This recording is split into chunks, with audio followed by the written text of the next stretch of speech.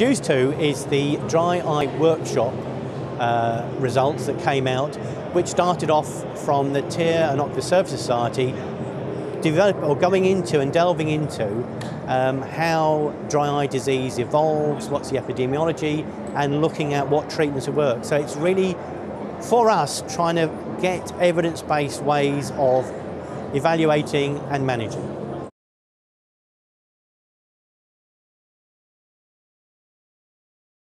I think the most important thing of DEWS is there's been an evolution from 1994 when they started work on dry eye disease through to the first DEWS in 2007 and last year we had DEWS 2. And the main difference is being that we used to treat dry eye disease, which it then was described in 1994, as an algorithm you went through to manage the patient, as opposed to a patient with a disease that needs to be managed. So it's very much more patient focused.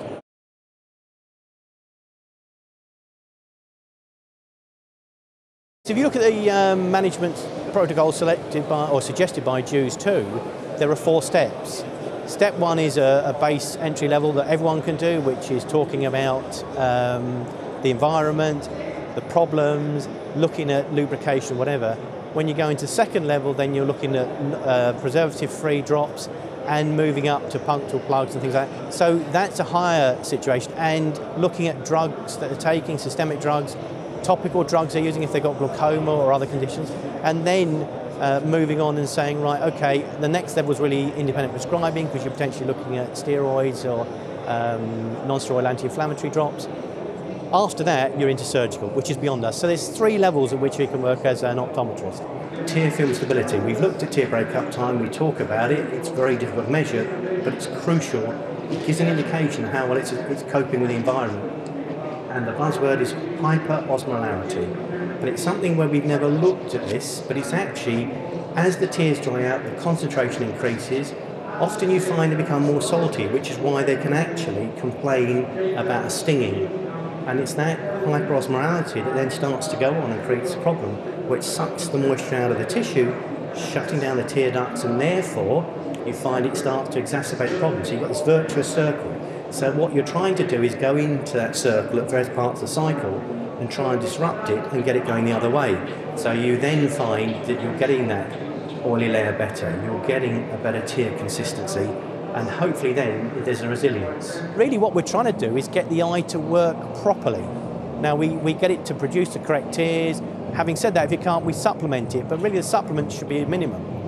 It's then the fact that when you put the, the tears in, because of the blinking, they're going to get washed away. You want it thick enough to give the support to stop the lid rubbing, but then greases over and the patient can't see you, so they want it thin enough so it doesn't blur vision, but it won't be quite effective. And that's where you sort of tailor time of day as to what you supply and also how much it's got to be used.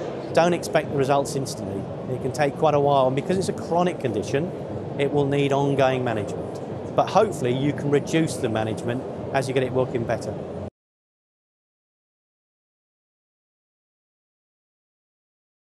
The less of a burden and the easier it's to follow is important, and it's important you give written instructions because it's amazing how often how they forget how often do the hot compress, how to clean the lids, and also how often use the artificial tears if required.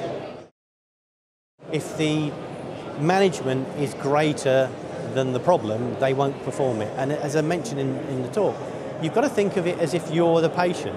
Would you follow that regime? And it's amazing you talk to practitioners and they would actually turn around and say, um, yes, okay, do this, but if they were asked to do it themselves, they wouldn't.